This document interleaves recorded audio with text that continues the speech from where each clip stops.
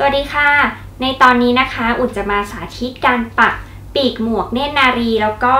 ปีกหมวกลูกเสือสามัญแบบนี้นะคะ โดยเทคนิคที่กำลังจะสอนเนี่ย เป็นการใช้สะดึงลักษณะพิเศษที่สามารถทำได้ในจากรุ่น VR ขึ้นไปค่ะ สะดึงพิเศษสำหรับการใช้ปักปีกหมวกเนตรนารีแล้วก็ลูกเสือนะคะ เราจะใช้สะดึงตัวนี้ซึ่งเป็นสะดึงปักลิ้นรองเท้านะคะ สามารถใช้ได้ในจากรุ่น VR ขึ้นไปค่ะ โดยที่ไฟล์ลายปักนะคะ ก็จะมีพื้นที่อยู่ใน2คูณ4เซนติเมตรค่ะ ลักษณะของสะดึงนะคะ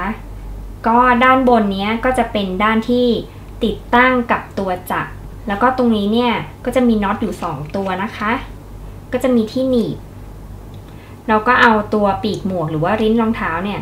สอดเข้าไปในนี้แล้วก็ขันน็อตค่ะ ตำแหน่งที่เราจะปักหมวกเนตรนารีนะคะ อันนี้ก็คือด้านหน้า ส่วนด้านหลังเนี่ยก็จะมีตะเข็บอยู่นะคะ อุ่นก็จะปักที่กึ่งกลางของด้านหลัง แล้วก็กึ่งกลางของปีกหมวกตรงนี้นะคะ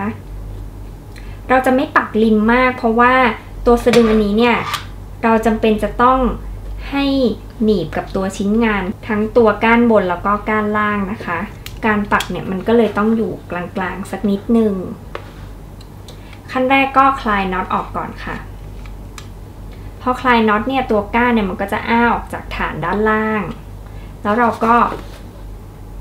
เสียบปีกหมวกเข้าไป ให้ตำแหน่งที่ปักเนี่ยอยู่ตรงกึ่งกลางนะคะ แล้วก็ขันน็อตให้แน่น การปักตัวนี้เนี่ย เราไม่จำเป็นต้องใช้กระดาษรองปักเพราะว่าตัวปีกหมวกเนี่ยมีวัสดุเสริมด้านในอยู่แล้วนะคะ แล้วก็มีความแข็งแรง เพราะฉะนั้นก็ไม่ต้องกังวลว่าผ้ามันจะย่นนะคะ